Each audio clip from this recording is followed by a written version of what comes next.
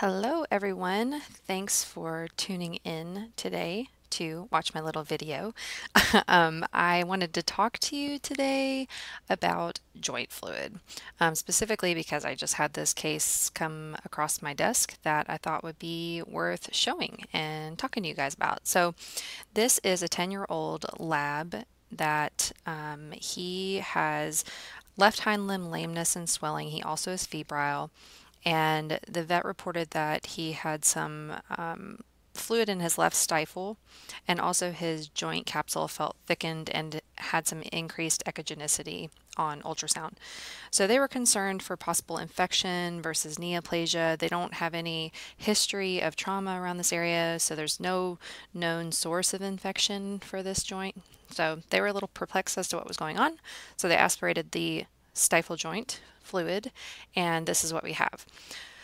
So I'm on 10x right now, and you can see um, even from this far back, let me get it into focus for you.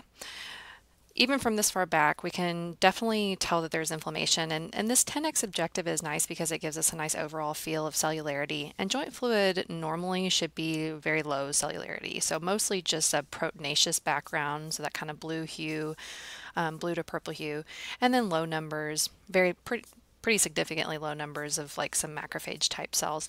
Um, in this case, right away we can see that there are way too many nucleated cells in this joint fluid for it to be normal. So all these cells all over here are nucleated cells.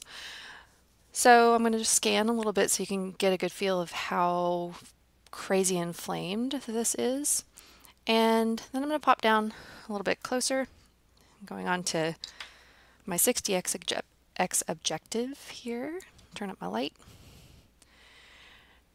And we can see that these are mostly neutrophils, right? So these cells have little segmented nuclei, clear to basophilic cytoplasm. So mostly neutrophils, we've got like a small lymphocyte popping in there.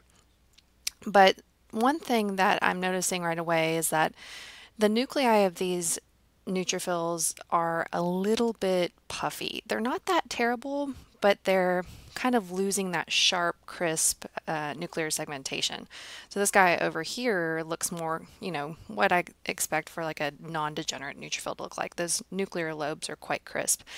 But all of these guys here, they're just starting to get a little bit injected looking, like their nuclei have been injected with a little bit of water or foam.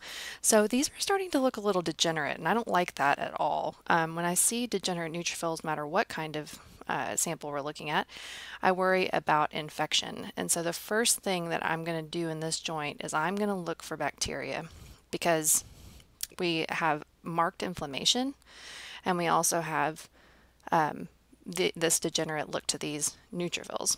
One thing you'll notice, and if you get nauseated when you look at people scanning, you should look away at this point because one thing you'll notice is that it's going to it sometimes takes a while uh, to find bacteria in a joint.